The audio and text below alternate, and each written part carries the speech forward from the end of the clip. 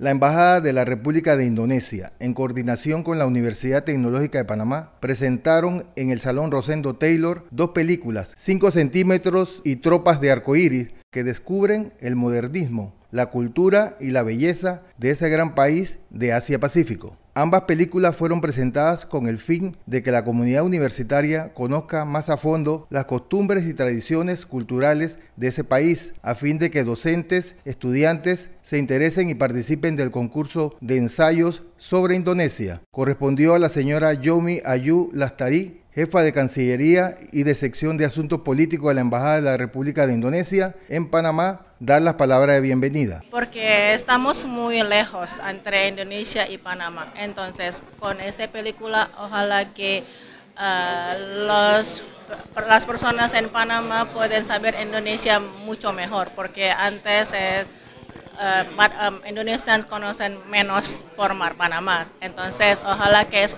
como una principio o primero etapa para acercarnos. Sí, es la, o, la uh, objetivo, objetivo de este programa. Promocionar Indonesia. Sí, también uh, tenemos un ensayo de discurso de ensayo que por fin el, el, ¿cómo se llama? de premio es para viajar a Indonesia.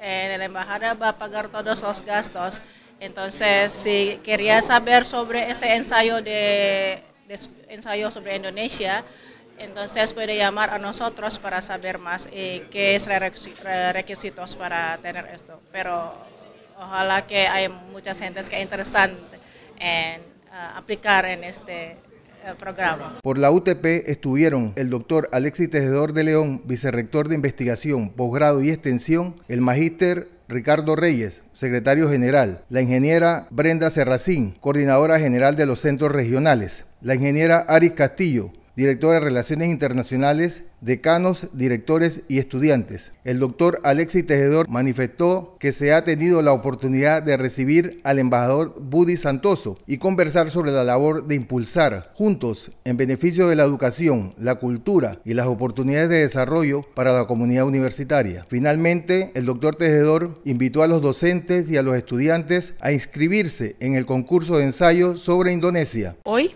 eh, tenemos este evento de gastronomía y de, de películas eh, de Indonesia que básicamente busca em, dar a conocer más eh, sobre Indonesia a la comunidad universitaria porque también tenemos abierto un concurso de ensayos sobre Indonesia que básicamente también la idea es dar a conocer más, hacer que la gente lea, que se ilustre sobre Indonesia, que busquen sobre este país y escriban ideas sobre las relaciones que podríamos entablar con ellos.